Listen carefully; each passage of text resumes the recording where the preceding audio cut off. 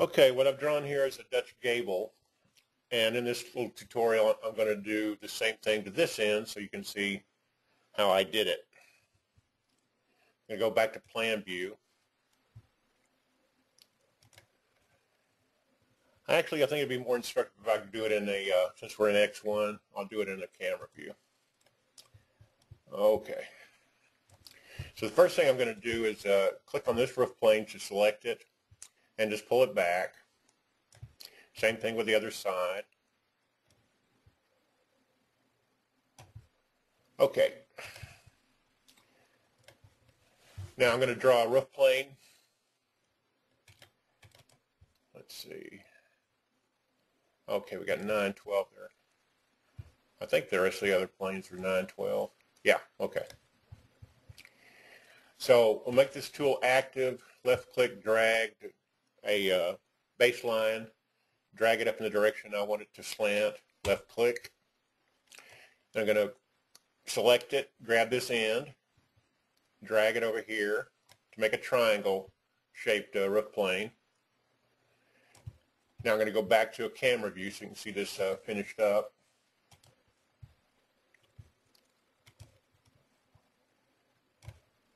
Okay, we'll select this side of that roof plane that I just created and connect it over there. Select this side, click on the Join Roofs tool one time, click where I want it to join. All right, next I'm going to use the Break tool, left click. Not really concerned as to exactly where I put the break, but I'm going to flatten this uh, hip plane out here. drag it down a little bit. I'm going to set this with the dimensions and use the parallel tool in uh, plan view. I'm going to put a couple of breaks in these, uh, one here, drag this one forward, back towards me. Select this roof plane, break tool, and let this snap to the end there. I didn't get a break.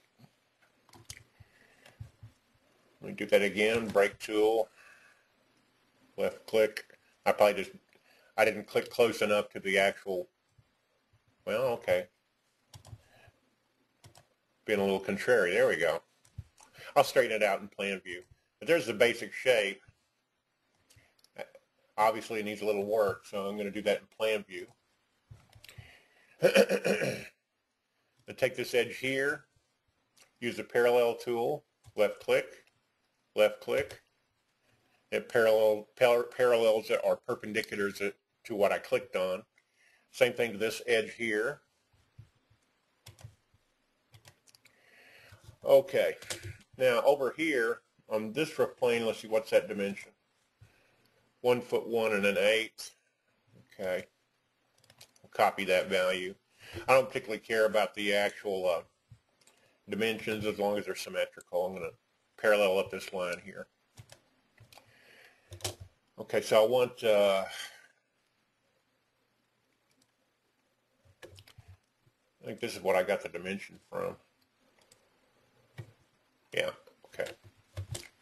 So I guess I need to set this one first.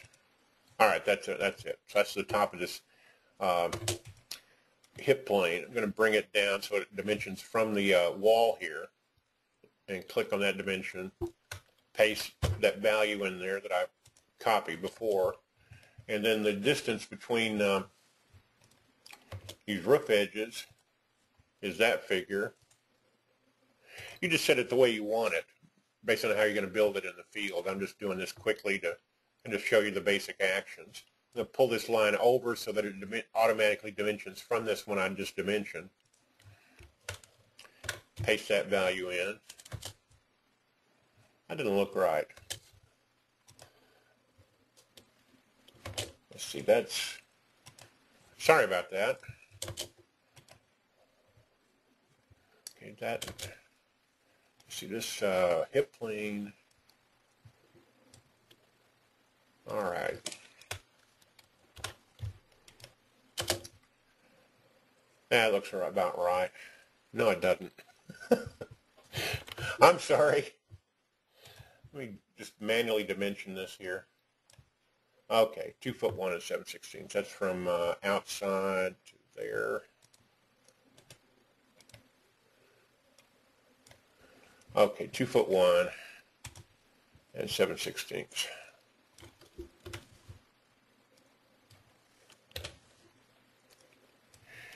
I could spend more time making this tutorial, but uh, I don't work much differently from you guys.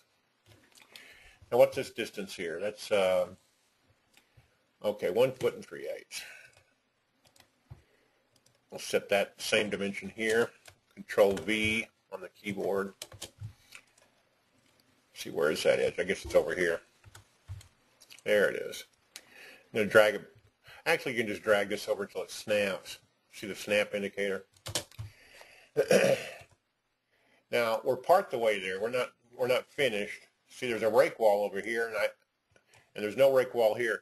If there's no wall underneath uh, right here, Chief isn't going to automatically build a rake wall, so we're going to draw one in manually.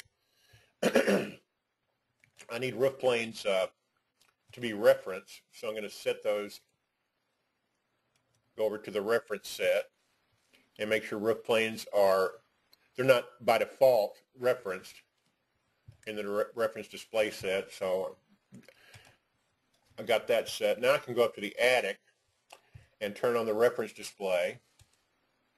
There's that line that I'm looking for, that roof line. We'll draw a wall up here.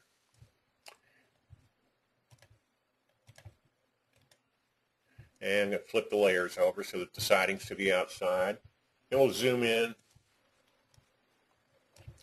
and drag this over until it's just a little tiny bit away from the red line, but pretty close. Also, this wall here needs to be set as an attic wall, so since I drew it manually, you have to do these things, set these attributes here manually. Uh, I want attic wall retain, no locate, no room define. Those are the default attributes of an attic wall. Now we can overview it and uh, that should wrap it up. So there's the one I did before and there's the one after. And as you can see, they're symmetric. So that's how you do a, a Dutch or Texas gable.